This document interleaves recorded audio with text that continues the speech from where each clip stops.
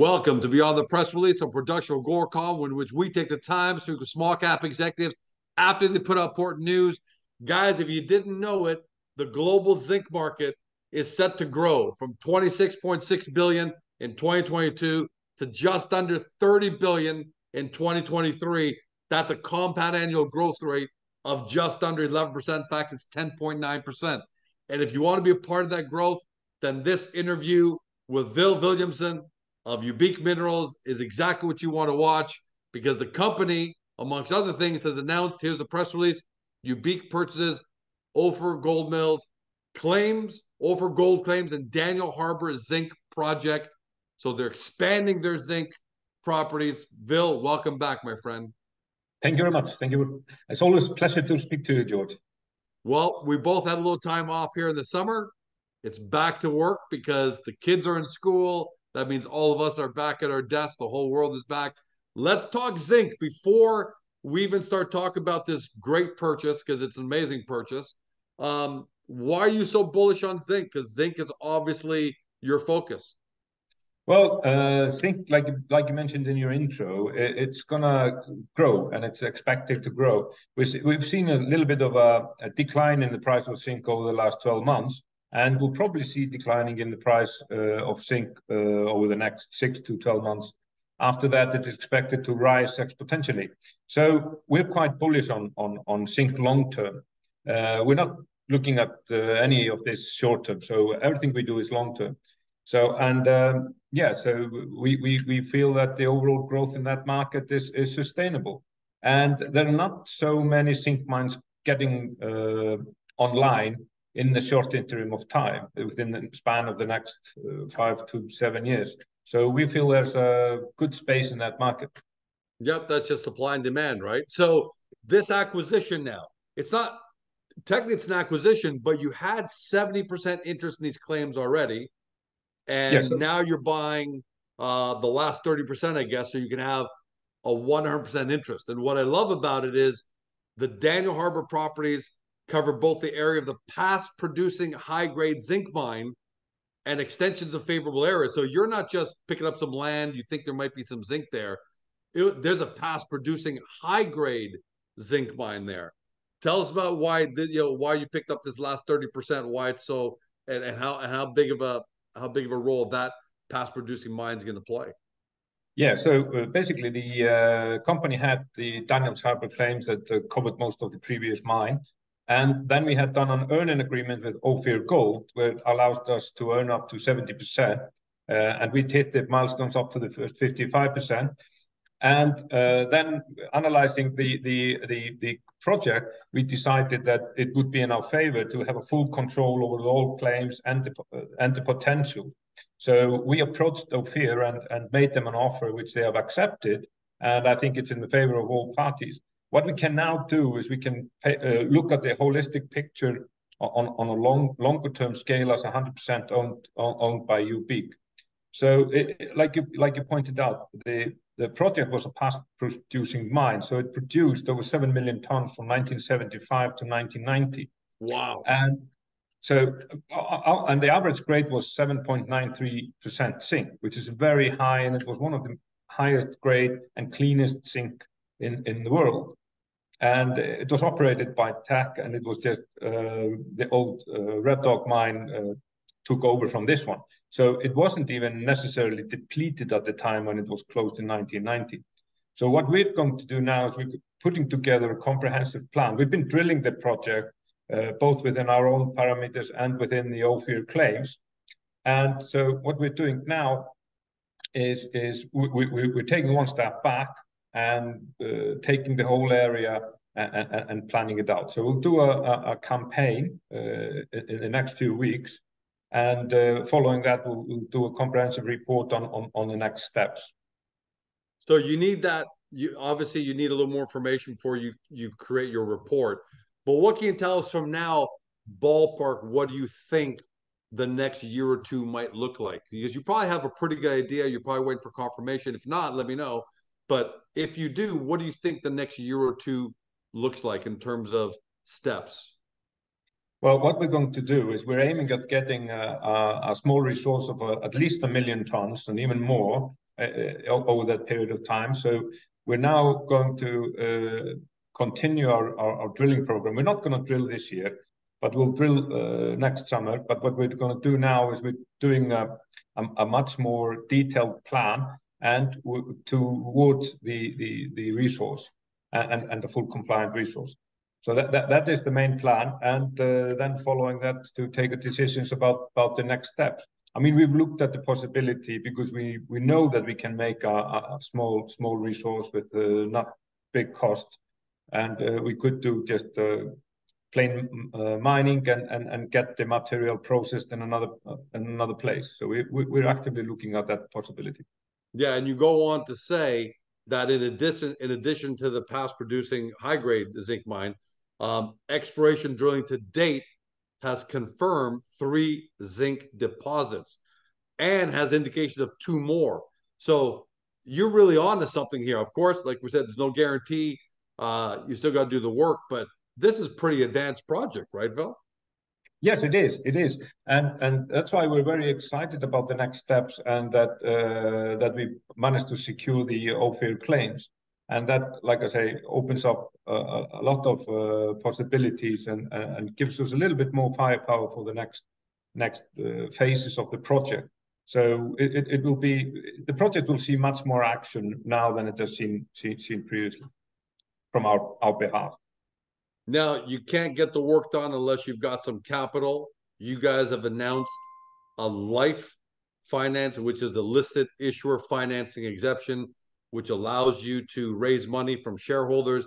They don't have to be accredited, there are no hold periods, and you've already closed your first tranche, so you're about, looks like you're about 25% of your way through your goals. Talk to us about that financing. Yeah, yeah. So we set we set out to uh, raise $1.2 million uh, uh, in a very harsh environment, but we've already closed the first tranche within days of announcing it. We're now working towards the second tranche, and our share price has been doing good. We're doing the placing at $0.08 with a $0.15 warrant. We're currently trading when this interview is going on, at $0.115. So there's a good margin and upside for the people who want to take part. Like you say, you don't have to be accredited investor to take part in this one. So uh, yeah, we're quite excited uh, for it and quite optimistic. Now, in previous interviews, uh, you're on, 'cause like I said, you're really zinc is your real focus, and I like that because there's some companies, Georgetown Minerals, you know, they're chasing zinc and copper and this and that, and it seems like they're just flailing. You've always been pretty focused, and one of the projects that you had was the Namibia uh, project. There was a mine down there, we've talked about the past. Now, you and the seller agreed to kind of uh, terminate that that agreement for uh, presently. What happened there, and and what should shareholders know about how that came to end? Well, uh, the short answer is that the markets, uh, you know, the capital markets closed on us during the the period that we were uh, negotiating that and working on that. It's also correct to mention that we probably could have closed funding to actually purchase the mine itself, but then it would be in our field. What I went for, and I did, was to try to not only just get money for purchasing the mine, but also to reopen it. So I went for the full bounty, and it was just the the markets were just too difficult at that time, and at the same time, the zinc price was declining, so the interest wasn't really there. But uh, we're still keen on that project if it if it becomes available to us again. So we're not shutting any doors, and as was in our uh, uh, announcement with the vendor, it was all amicable, and they forfeited their $1 million penalty payment that they could have enforced on us, and it just shows the relationship between the Right... the parties. And I like that you say, uh, if if conditions are right. It's not like George Minerals came in and bought it, and now belongs to somebody else. It's still there, just the economics of the zinc market and the equity and the small cap markets kind of went south in the first six months of this year. But is it is it fair to say the door is potentially still open? There's still a good relationship there? Yeah, yeah. As far as I know, of course, it could be sold tomorrow, and we we, we don't know. But, Right... as far as I know, we don't we haven't heard about it being sold. But uh, like I say, we, we're open to to uh, new ventures. And when I came part to be part of the Ubique, I, I was very specific that we were not going to be a one project uh, uh, company. So we are exploring other uh, venues and other opportunities, and we'll continue to do so. Hey, Vil, I had a small technical glitch because some people might see that I'm at a different background right now from my cell phone. But the last question I had for you was regarding your relationship with Green Bank Capital. You become the most of us took it easy over the summertime. You're making deals, you're acquiring 100% interest. You became CEO of Green Bank. Let's talk about Ubique's relationship with Green Bank and your position as CEO at Green Bank. Yeah, so uh, originally when I uh, came into uh, play with Ubique Minerals, uh, it was uh, through Green Bank. And uh, I've always had a good relationship with Green Bank. Uh, I'm personally a shareholder in Green Bank. And during the summer, our company, my personal company, did some work for Green Bank, and it ended up that we decided that, and I was offered the, the position of to take over the CEO and chairman of Green Bank. Green Bank owns over 20% of Ubique Minerals, and Ubique Minerals owns almost 8 or 9% of Green Bank. So there's a very much interlinked connections between the two companies.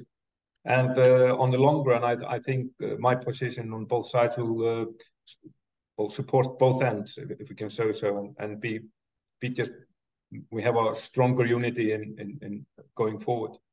How do you see Green Bank helping out the company in the future uh, beyond financing? Because I see that Green Bank nurtures uh, uh, companies contributes management expertise. Obviously, you're a big part of that. You're on you're you're already you Ubique and you're on the Green Bank side. But you know, how how do you see Green Bank potentially playing a bigger role in the future?